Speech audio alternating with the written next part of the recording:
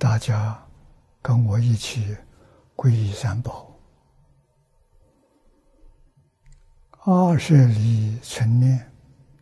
我弟子妙音，师从今日乃至明存，皈依佛陀、两足中尊，皈依大摩利欲中尊，皈依僧伽诸中中尊。二舍离成殿，我弟子妙音，师从今日乃至明存。皈依佛陀，两足中尊；皈依大摩利欲中尊；皈依僧伽诸中中尊。二舍利存念，我弟子妙音，师从今日乃至命存。皈依佛陀，两足中尊；皈依大摩利欲中尊；皈依僧伽诸众中尊。请看《大经课注》第一零七二页第一行：“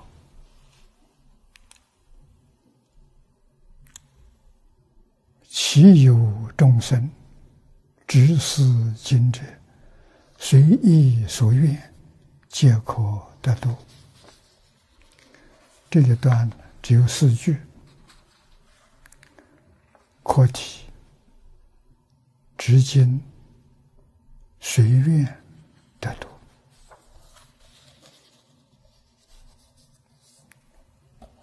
我们从上来一直到今天，都是讲的流通。通常流通部流通分呢，经文都很少。这个经跟别的经不一样，很有大部头的味道，像华严、法华、楞严啊，有着大经的味道，也让我们从这里升起信心。啊，这不是小事。这是大事。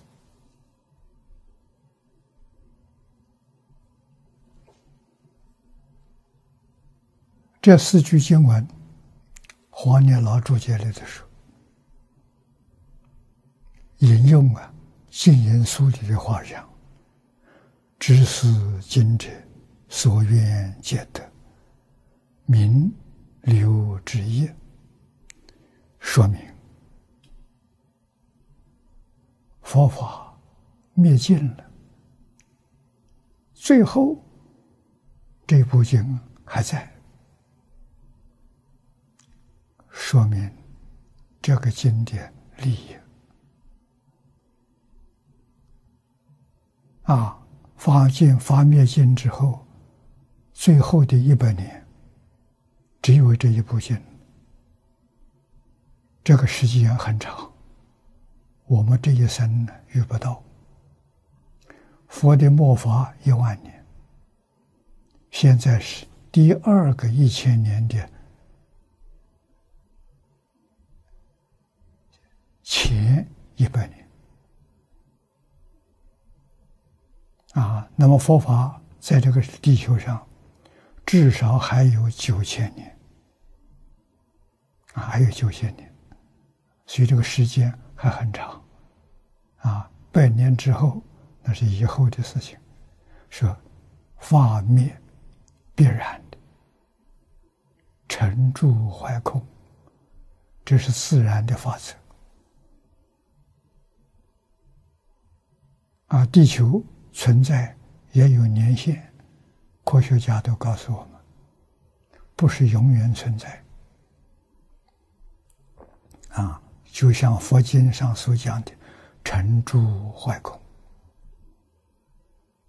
所有一切物质现象都不能够避免有成、形成了，宇宙形成了，世界形成了，啊，这个在现在天文学家已经为我们所证明。啊，有一些新的星出现，以前观察没看到，没有记载，新出现那成啊，这世界形成之后，一定是有一段期限，那叫住啊，地球在大爆炸的时候形成。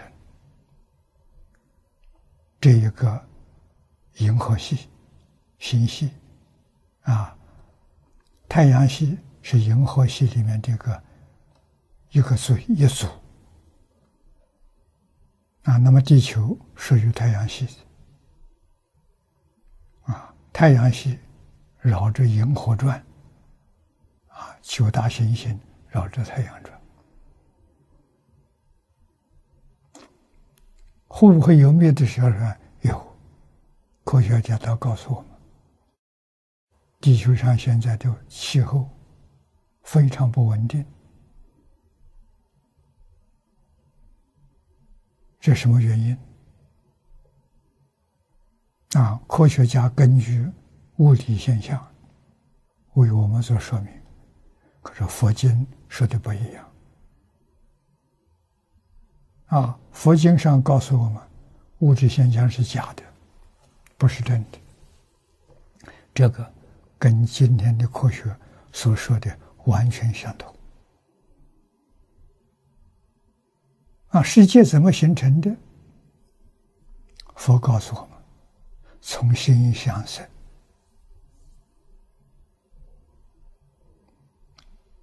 有没有道理？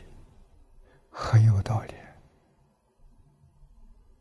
啊，古时候的人，在中国历史上，我们看到的，中国有世界上最完整的历史，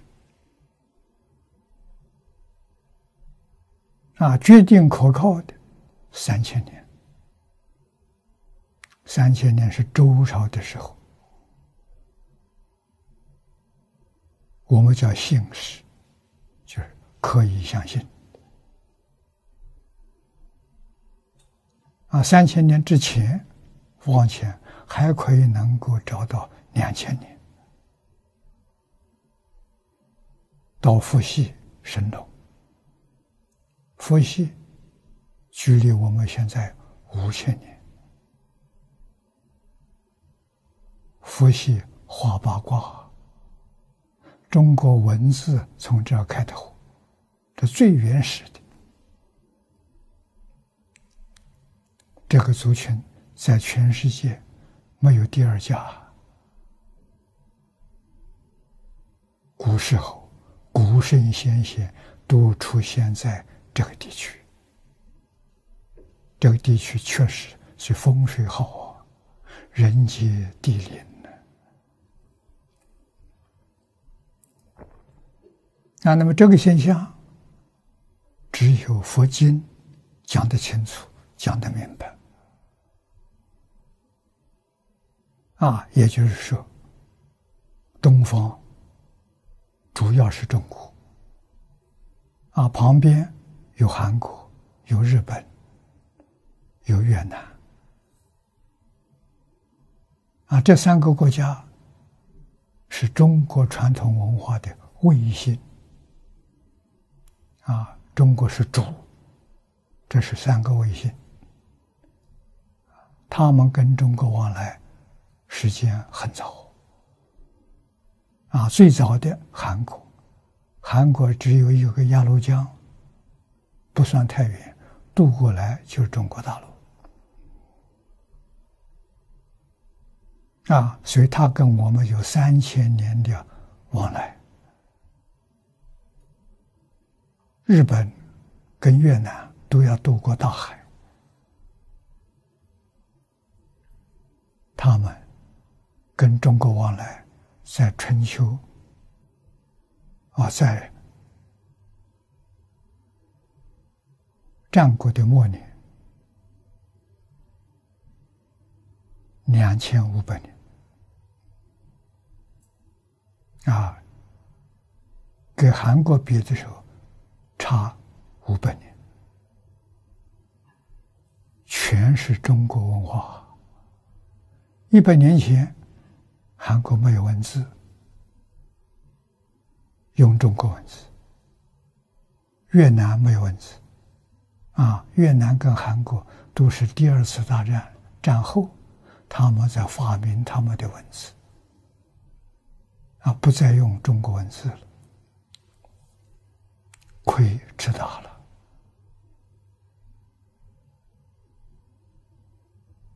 中国文字是智慧呀！啊，中国文字看中国的典籍，它就没有分了。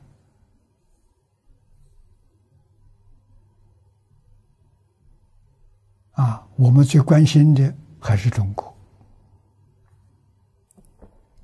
我们要恢复民族自信心。我们的祖宗太好了。啊，真有智慧，真有道德，给我们留下这么多宝贵的典籍。在东亚五千年这么长的历史，啊，改朝换代几十次。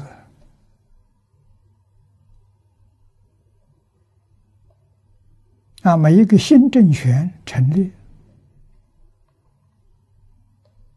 在历史上可以看到证明，大多数五年之前就颁布礼乐，社会秩序就恢复了。啊，只有这一次，满清亡国了。民国成立了，啊，民国要创新，不学老祖宗，老祖宗东西不要了，啊，拼命学西方东西，西化了，还有多少学者专家主张的是全盘西化？西方到底怎么样？我们在这一生当中，跟西方往来也有三四十年了。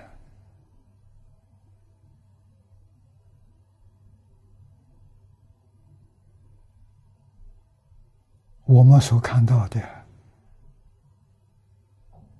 不是民国初年那一些学者专家他们所想象的，西方的问题多，现在。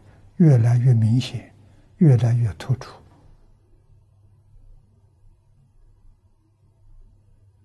啊，细心去读古书，就明了了。啊，古书里面有一部好书《群书之要》，是唐太宗做皇帝的时候，他是个将军。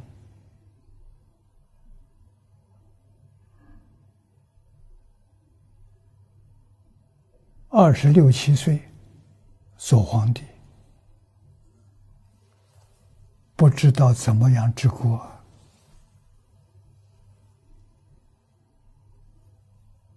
啊！他很聪明，他召集大臣里面学术根基很好的，找了六个人啊，替他在古籍里面。编一部书给他看，啊，这书里的内容是什么呢？内容就是修身、齐家、治国、平天下，他要这个。啊，魏征带头，魏征那时候是首相，用了五年的时间，从三皇五帝。一直到他那个时代，啊，典籍里面关于修身的文字，关于治家的家和万事兴，啊，他要我，啊，在关于治国的、治理国家的，啊，再是最后一个平天下。希望世界和平，啊，国与国之间互相尊重、互相友爱、互助合作。唐太宗要这个，啊，他们把它编出来了，五十万字，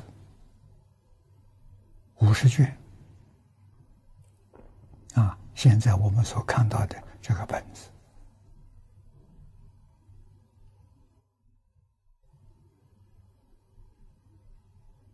唐朝亡国之后，这部书不见了。啊，一直到满清，嘉庆做皇帝，日本天皇对中国进贡，也就是送礼，礼物里头有这部书。但是在那个时候，前清盛世，啊，前清。康熙、雍正、乾隆，到嘉庆的前一半，太平盛世是世界上最大的强国，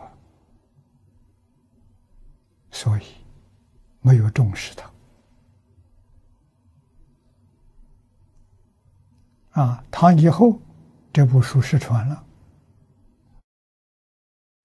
啊，到清朝时候才看看到。也没人重视。我知道有这本书，听老人说的，没见到过。啊，看到这个世界动乱，就想到唐太宗有这一部宝典，找了三年，没消息。啊，最后在这里讲经，说出来了。希望听众、同学有人知道这本书，给我介绍。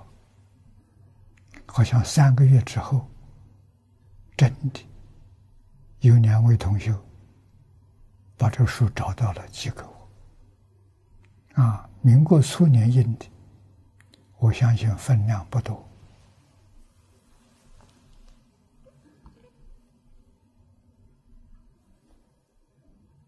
啊，看这个书，没人看过。啊，书没有人看过，没有人翻过这书，字很清楚，纸是很脆了。啊，我交给世界书局，印一万套，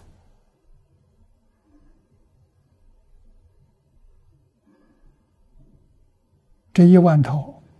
送给世界大学图书馆、国家图书馆去收藏，目的呢，永远不会失传。这部书留下来了，目的在此地。可是印出来之后，第二个问题，这个书如果没有人来读。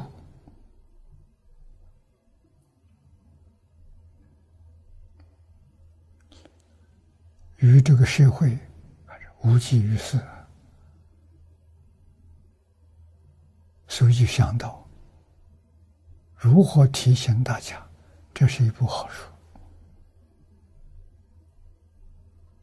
啊，那一段时间，我住在啊，也常到马来西亚。啊，马来西亚两位首相给我的好朋友，我在马来西亚，我们常常聚会。啊，我把这这部书送给他们，告诉他们这书的内容，他看不懂啊。他告诉，能不能赶快翻成英文？啊，英语他懂，所以把这个书翻成外国文，是从马来西亚开始的。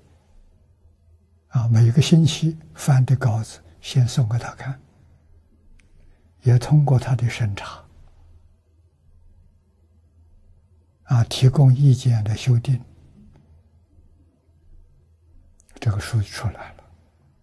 现在我们有十种不同文字的译本。这些年来，我在联合国把这个资料发给每个国家大使。啊，也有很多国家把这个送给他们领导人去看，好啊！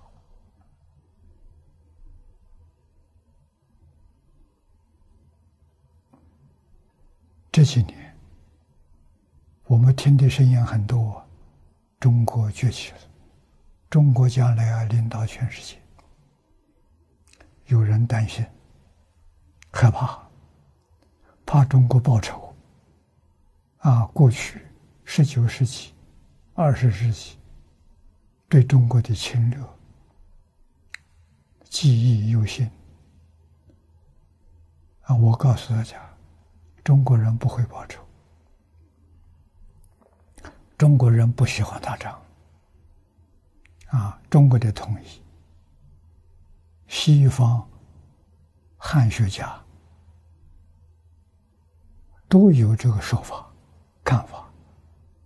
这个统一不是政治，不是就武力，不是经济贸易，也不是科学技术，是中国传统文化统一。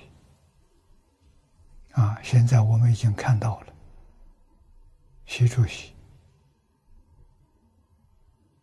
他担任主席之后，这些年来到国外。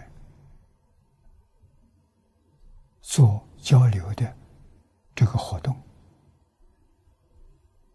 啊，我相信将近一百个国家，他都去拜访，啊，都去访问，把中国人所想的、中国人想做的告诉大家。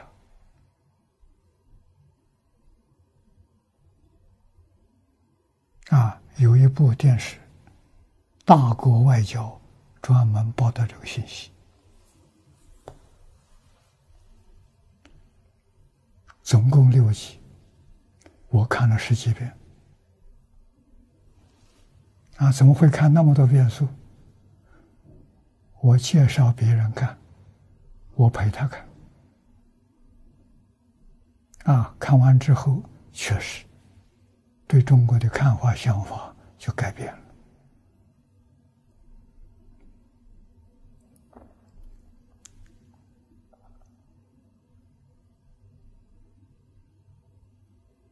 太平盛世，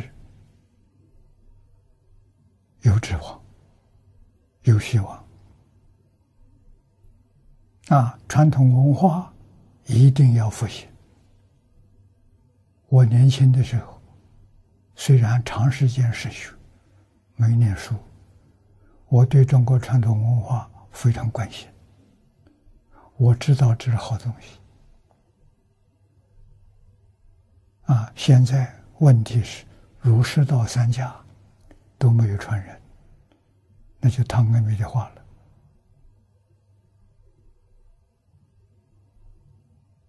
人类的历史是先有宗教，后有文明，文明是从宗教延伸出来的，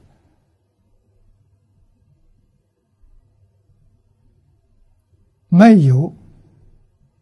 宗教做基础的文明，时间都很短，不超过三百年就没有了。地球上曾经出现二十多种文明，现在只剩一种，中国的文明就剩一种。其他都没有了。那么中国文明，如果这个十年，我的看法是十年，这个十年要不能把它救起来，会消失。为什么？真正念古书的这些人，都是七十岁以上、八十岁的人。十年之后，他们都走了，你想学，老师没有了。现在还能找到几个？啊，我在台湾找到四个，听说大陆上大概也有四五个。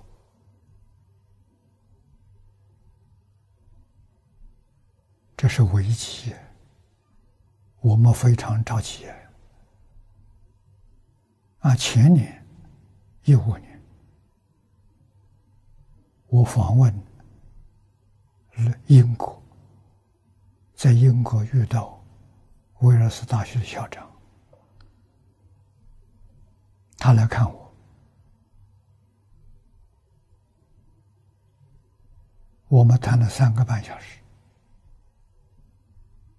谈到中国文化的危机，他也深有所感，主动提出来，我们办汉学院，我们来培养有能力读中国古文、读中国诗库的这样的学生。啊，这目的是什么？是让读古书的人。还有继承人，不至于消失，这是唯一的一个途径。我在伦敦住了九天，回香港回来，我们以为谈谈就了就了了，没有想到他认真，他比我还热心，啊。他在前年八月到香港来，带着学校董事会的主席，带一个副校长，三个人到香港来住了五天。我接待他，我们五天就谈这个问题，最后决定真干啊，在威尔斯大学。成立一个汉学院，今年上课了，啊，现在是第二个半年，啊，三月间的时候，第一第一节上课了，现在是第二节。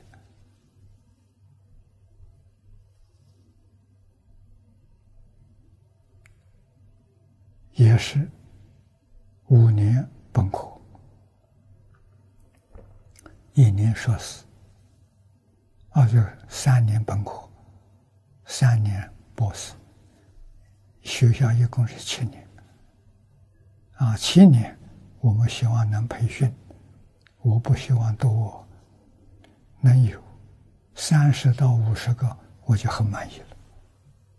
有能力读古文。有能力继承《四库全书》啊！我们终极的目的是希望《四库全书》乾隆皇帝编的，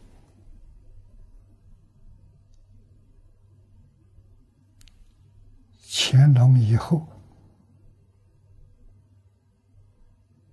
还有好东西续藏，啊，叫文书。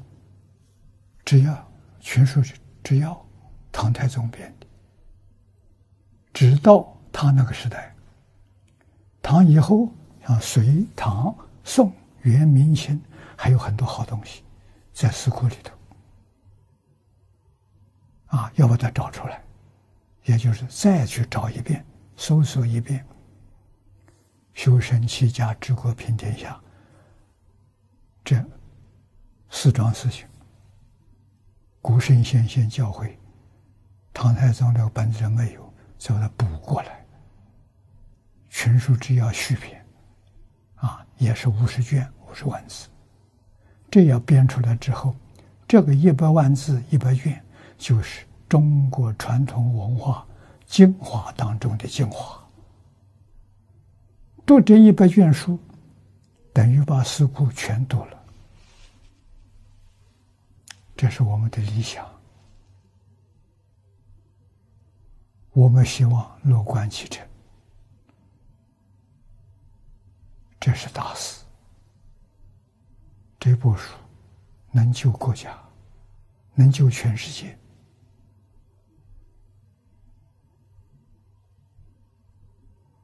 啊，我们对中国前途充满了信心，所以希望年轻人真正要发愿，继往开来，啊，牺牲奉献，我们来拯救中国五千年传统文化，不能让它失传，要认真努力去学习。学习有心得，发扬光大。啊，那就是宣讲、著书，用现在的语语言来做注解，流传给后世啊，那就是再去找传人，遇到传人，全心全力帮助他，成就他，世世代代。有人继承，问题就解决了。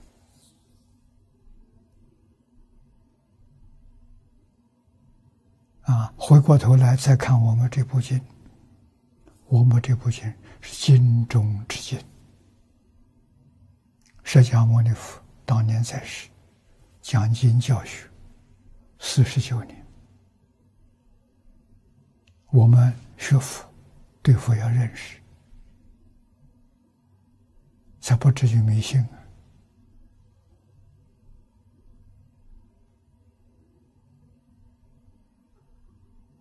佛教是宗教，宗教等于迷信，这是我年轻时候看法，所以不接触宗教。我是二十六岁跟方东梅先生学哲学，啊，这是中国近代的大哲学家。桐城派方苞的后裔，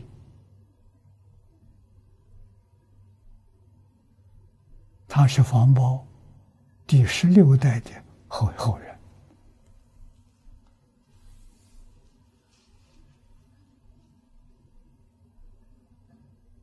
给我讲了一部哲学概论。最后一个单元就讲佛经哲学，我从来没听说过。佛经是哲学，我向他请教，他告诉我：“你还年轻，你不懂。释迦牟尼是世界上最伟大的哲学家，大乘佛法是全世界哲学的最高峰。”告诉我。学佛是人生最高的享受，我是这样进门来的。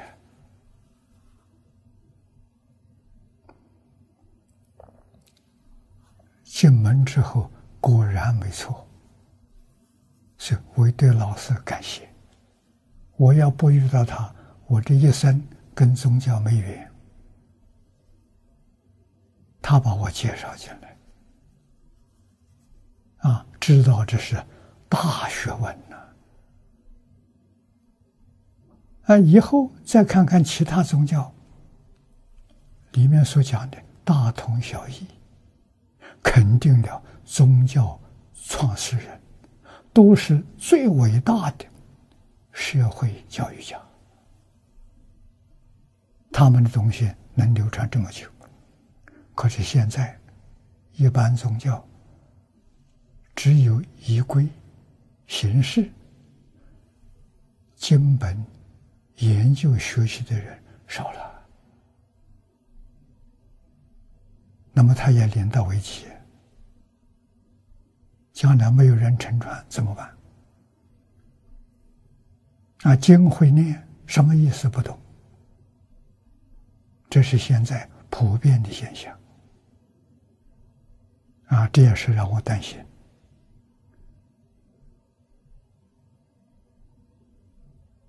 啊，我在英国很难得，今年王子跟校长有一份研究部研究的介绍，拿来送给我看，想办一个班。和谐博士班，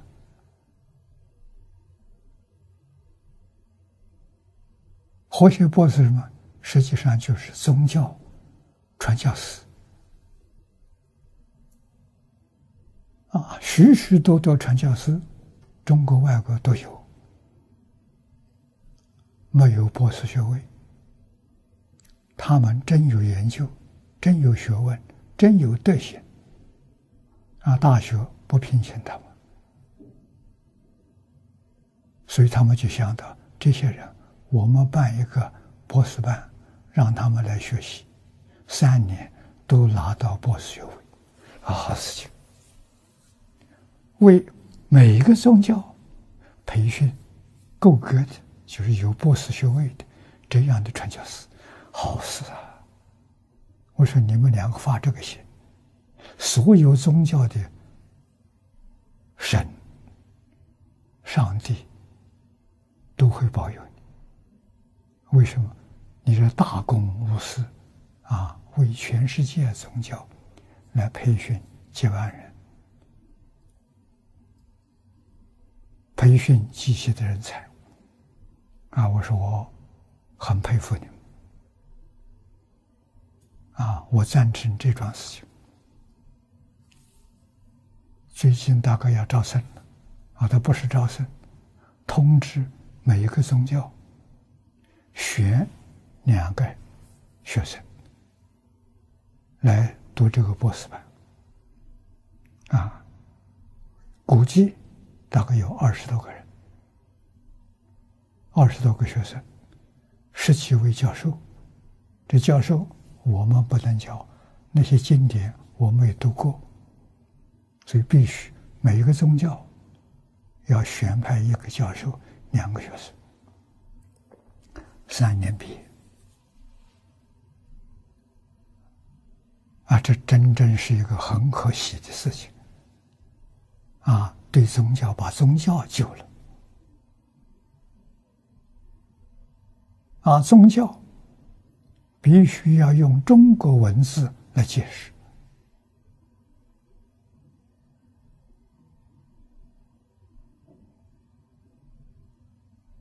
才能够摆脱迷信。中国文字“宗”有三个意思：主要的，第二个是主要的，第二个是重要的，第三个是尊崇的、尊贵、崇高，就这三个意思。教也有三个意思：教育、教学、教化。啊，两个字连起来，宗教是人类主要的教育，宗教是人类重要的教学，宗教是人类遵从的教化，所以人不能不受宗教教育。啊，这是西方汉学家说的。宗教教育就是人类最重要的教育。中国的儒家是的，道家也是的，佛成为三家了。儒释道啊，叫什么叫伦理？叫道德？叫因果？叫圣贤的智慧德行？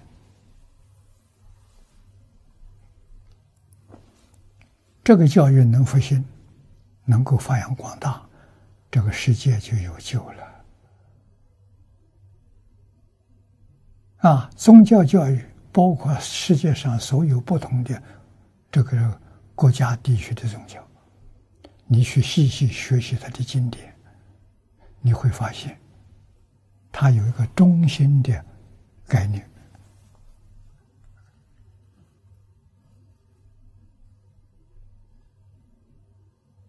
核心的价值观是什么？就是个“爱”字。啊，西方的宗教可以说，上帝的爱，上帝的爱是大公无私的，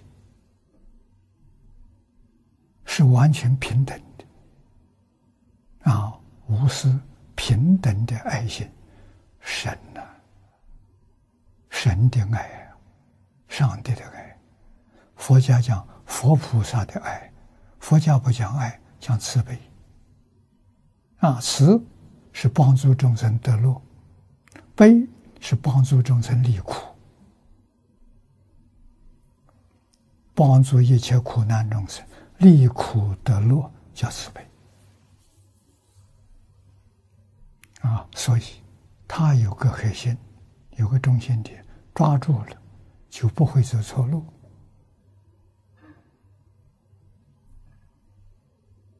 啊！而且我学佛五十八年，我，讲经五十八年，学佛六十六年，六十六年，二十六岁开始，啊，跟着方老师，啊，走的不错，真的。老师没骗我，人生最高的享受，最高的享受不是财富，不是地位，是快乐啊！是一生守住一个标准，佛家的十善业道啊，不杀生。不跟众生结冤仇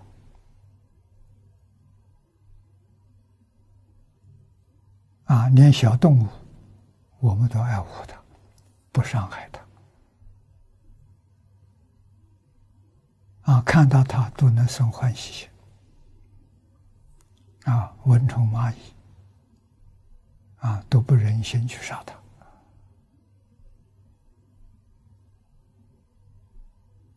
啊！不偷盗，不邪淫，出家，淫欲断掉了，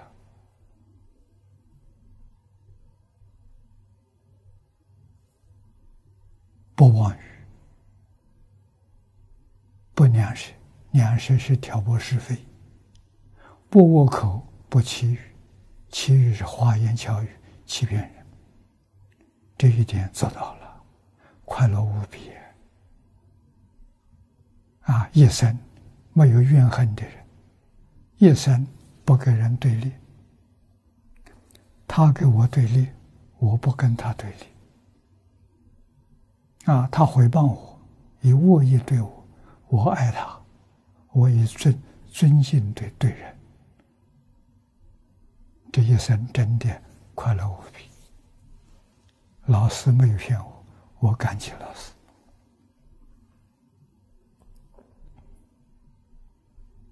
啊！佛带给我们的真正幸福，后面三个：不贪、不嗔、不痴。你说你多自在，你多快乐？为贪嗔痴生多少烦恼，造多少恶业？不值得了。人生在世一百年，真叫一刹那、一弹指就过去，何必要造罪业？何必要给自己找麻烦？啊，多新鲜书，一生就做一桩事情：讲经教学。啊，讲经跟听众不接触，用卫星电视，用网际网络，好啊，自由自在。啊，什么都不用，都不要，哎，什么都不缺乏。啊，听众很多，我也没有去统计过。我们对这事情并不关心。啊，知道有很多人跟我一起学习，我们都是善友。啊，听说我这几年要搞汉学院，这大事，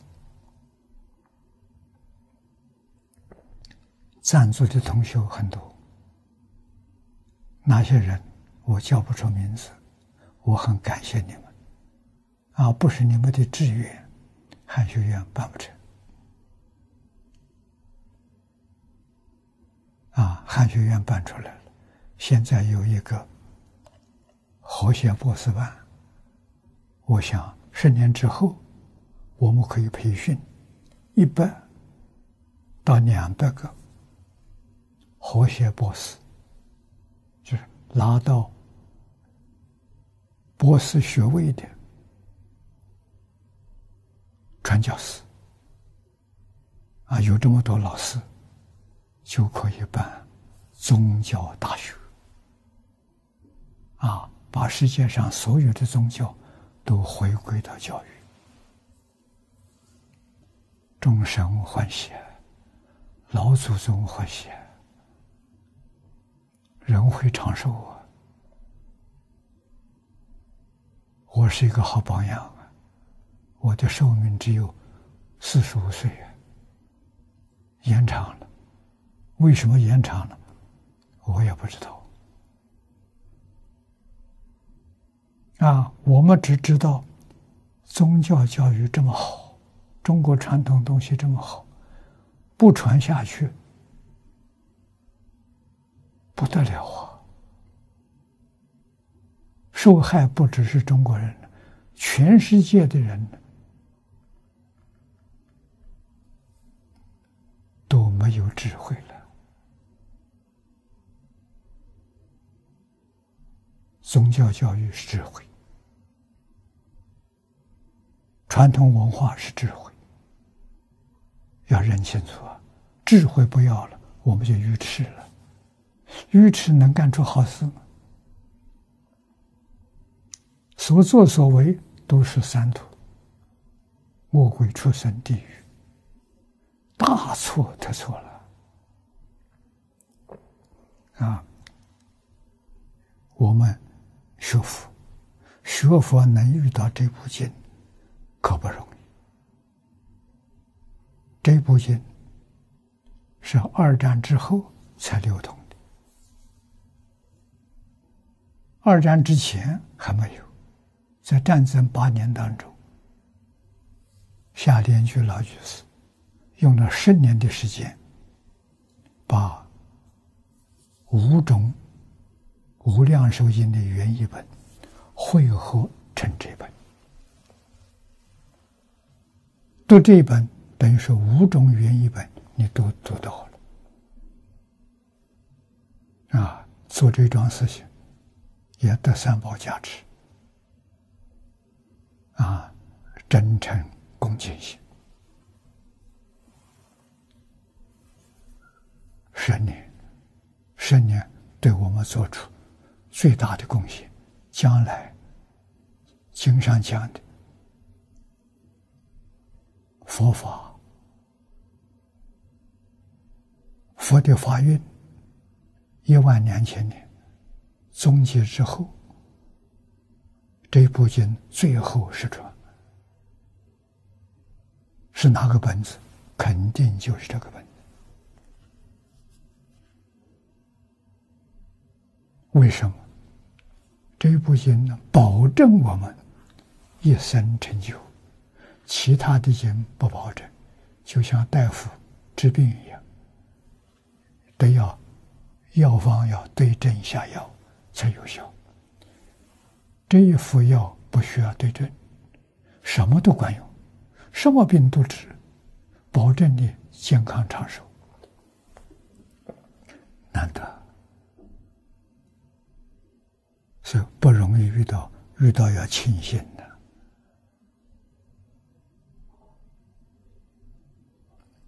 我相信这部经花了三十年的时间。前面三十年半信半疑。怎么相信的呢？我讲《华严经》，这是大乘教之第一部大经，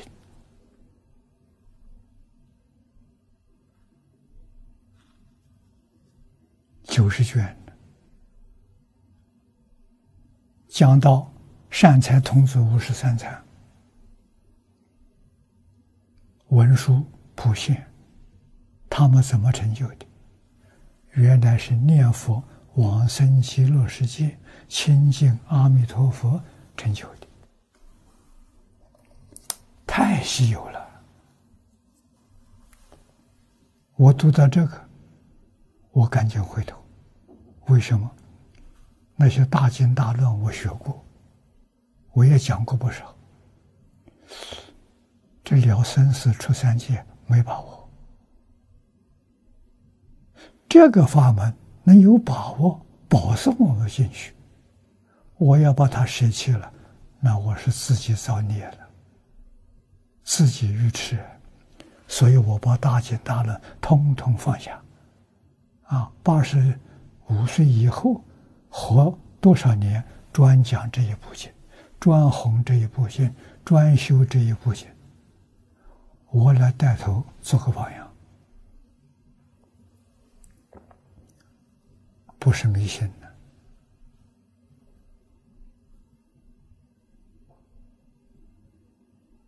确确实实是佛陀，而且是诸佛如来，不是一尊佛，每一尊佛度化众生，这个法门都是最后的一招。只要你肯信，不怀疑，你真的发愿求生极乐世界，极乐世界太好了，啊，保证你这一生成功，绝不会让你失望。我们到哪里去找？啊，所以这部经多念。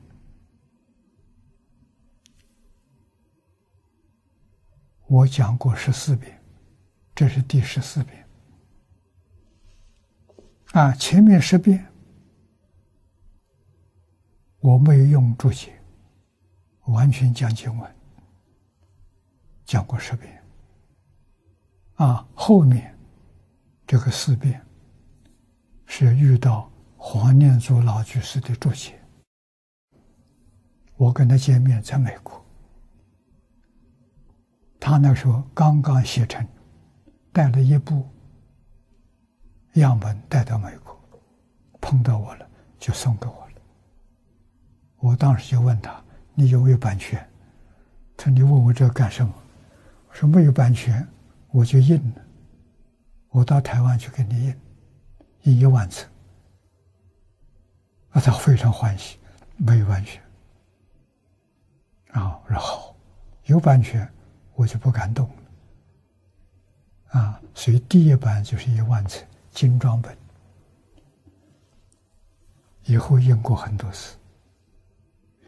现在学习这个本子很多，我非常欢喜。啊，老居士已经往生了，啊，他大概大我十几岁。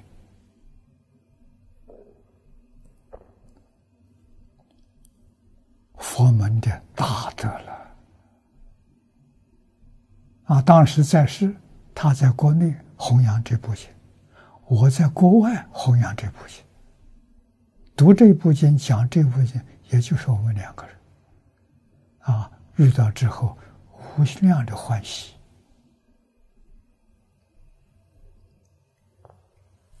啊！所以这四句，你看看这经文。岂有众生？啊，这众生里面有这么一个人，知思经者，遇到这部经呢，随意所愿，皆可得度。啊，随意，随你的意思，随你的愿望，都能够满足。啊，都能够得度。这个得度是超越六道轮回，超越十法界，到极乐世界去做菩萨去了，将来在极乐世界做佛，像释迦牟尼佛一样。在十方世界见到有缘众生，你都会现身说法，把这个法门介绍给他。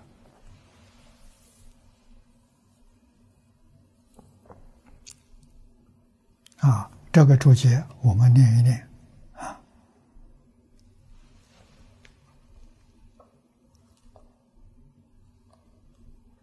《经言书》里头。这一段，执思经者所愿皆得，说明留之业，就是最后留一百年，立业无量无边。佛法佛法灭尽后，百年闻者还能够得利益往生净土，何况现在何有不生？哪有不生净土的道理？啊，说的意思，这是黄念祖的话。遇此经者，必满本愿，是乃证明独留此经的利益。至于法灭之时，闻经尚能得法益，往生极乐，何况现在闻经心受之人？言犹不生西方之理，这句话中。特别提醒同学。啊，故书虚云，定得往生，这个语气完全肯定啊，丝毫没有怀疑，你一定得往生啊，书字啊，墨字。疑虑，劝我们决定不要疑惑，决定不要去打妄想。啊，经上讲的句句是实话。得度是度生死之海，换一句话说，我们现在人有生有死，到极乐世界生死没有了，过过无量寿。啊，是真的，而真。涅槃，涅槃是成佛，啊，海比喻生死，彼岸比喻涅槃，超越生死中流，而等涅槃之彼岸，故愿得度。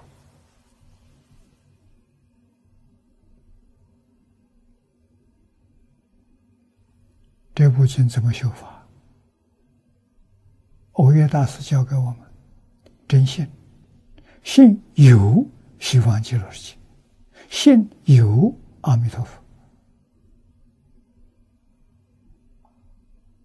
啊！阿弥陀佛发四十八愿，帮助我们成就我们，每一愿都是真的。我们只要信，一点怀疑没有啊！要发愿。愿生极乐世界，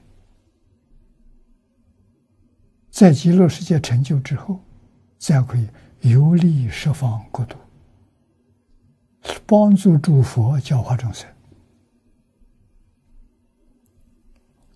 所以叫得度啊！啊，有信有愿，条件就足了，剩下来一个念佛。起心动念都是阿弥陀佛，你就拿到保证书了。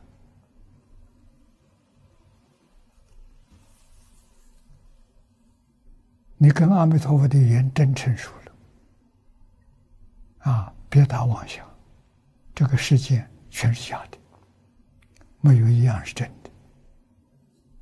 啊，经给我们讲的详细。